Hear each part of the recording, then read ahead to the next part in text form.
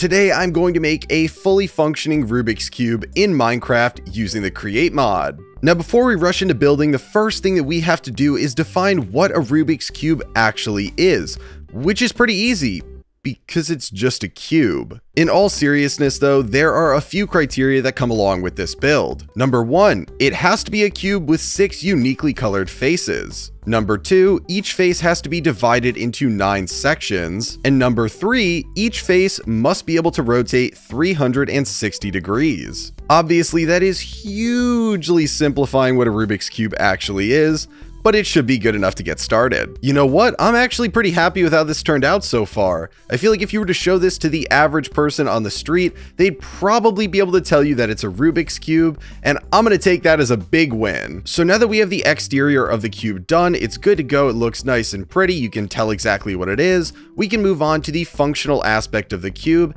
and there's only one of them, but it's arguably the most important thing of the entire build, because without it, this is, it's, it's just gonna be a cube. And that important functional aspect, if you didn't already know, is the ability for the faces to rotate. So to do this, it's very simple. We're going to go into the very center of every single face. We're gonna put down a radial chassis, then we're just gonna have to double click on it with slime balls to make it sticky, replace whatever block we took, and if we take a quick look at it, hovering over it with a wrench, we'll be able to see all these highlighted blocks are now attached to the radial chassis, so if the radial chassis rotates, all of these are going to rotate along with it. So it's very simple. We only need to rotate one block then, and we will get an entire face of the cube to rotate along with it. So as you can see, I've gone and added the radial chassis to the center of every single face of this on all six sides. And that means it's time to go inside the cube where it might be a little dark and start working on the internal components in here. So we're just going to focus on one side for now to make sure that this actually works and does what we want it to do. So it's a bit of a trial run, but I said that we just have to make the radial chassis itself spin and all these spin along with it. So to make it spin, we're going to put down a mechanical bearing facing into it that's going to hold onto it, and when we give it rotational power, is going to make it all rotate.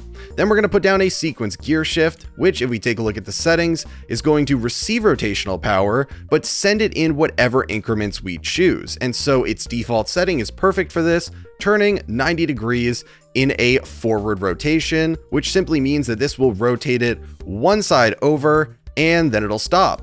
Then all we got to do is give it rotational power here. And if we were to put down a button, we can replace these blocks and let's see if this works.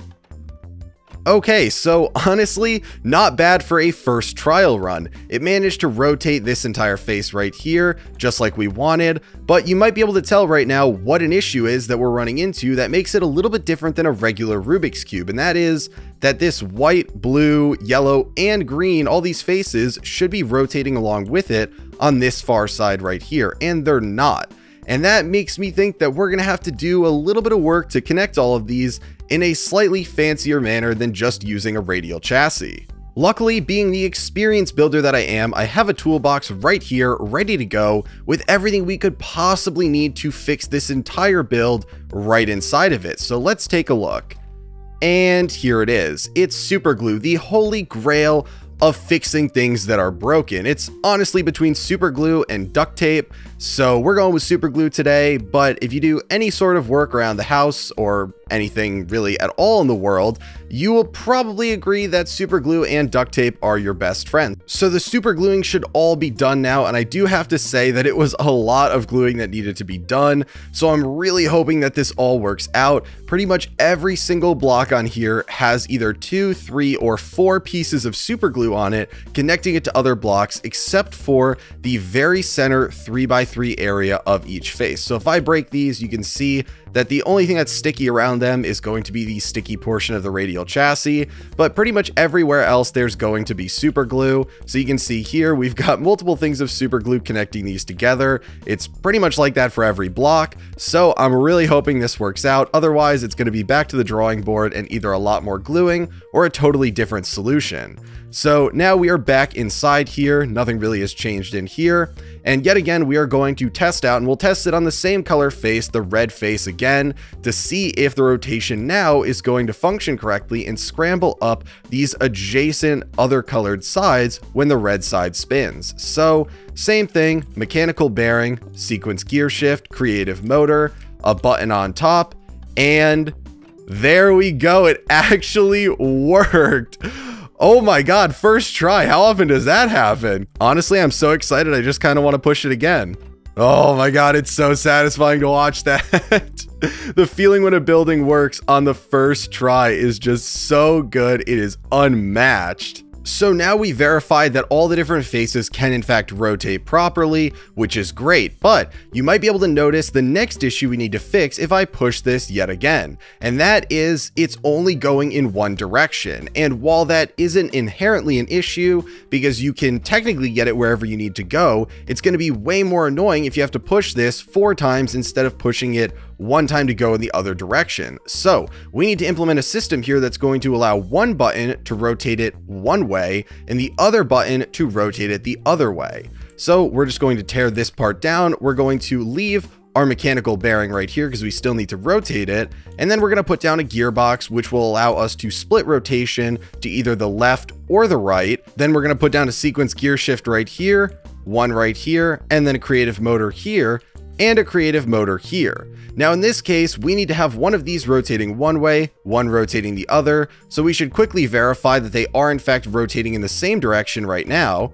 So that one's going to go, yep, so they both go the same direction. So all that means is we're going to come in here on one of these, and instead of having it be input speed forward, we're just going to set it to input speed reverse. So now, if we were to push this, it'll rotate clockwise, and if we push this, it rotates counterclockwise and let's just get it back to its original setting before my OCD makes me totally lose it. Now the last thing I need to do before I replicate this rotation controlling build right here on all the other faces is turn this from a manual control to a wireless control because I don't think anyone wants to be inside a Rubik's Cube controlling it, they'd rather be able to see it from the outside and control it from there. So we're going to break these buttons right here and put down redstone links on top of each of the sequence gear shifts. We are going to shift right click them with nothing in our hand to make them receivers and then we're just going to set the frequencies for them. So I think our best bet is simply going to be setting them based on the colors of the faces they're corresponding to, and we're going to need two different frequencies. So we're going to do a double red set for the counterclockwise rotation, and then a singular red set for the clockwise one. So we will have one button to send it clockwise, one to send it counterclockwise, and then we'll have one for each of the faces, or one set I should say, leaving us with 12 total buttons to control every single aspect of the Rubik's Cube from outside of it. Okay, so just to give you guys one quick glimpse of the inner workings of this when it's totally finished before we head outside and make sure that this entire thing works, but here it is. It's pretty much the exact same setup on every single one of these faces with one clockwise rotation aspect, one counterclockwise, and then one redstone link frequency for each of those. Like I said, resulting in what should be 12 total buttons to control the rotation of every single face. So the control station is set up. It's nothing super fancy. We just have two buttons for each color and then if we come below here, we have all the different links set up so that we have the front row right here, which will be the reverse rotation for each, and the back row, which will be the, I guess it's not reverse rotation, it'll be the clockwise rotation there and counterclockwise here. So it should all be working. I have yet to test it out, so you guys will get to join me as I do my first trial run right here of the entire setup. So let's see if we push this button, if the top face rotates. Oh my gosh, it works and then goes back. It works. Here, it works. Okay, nothing's breaking. Okay, and then we can go back. Oh my goodness.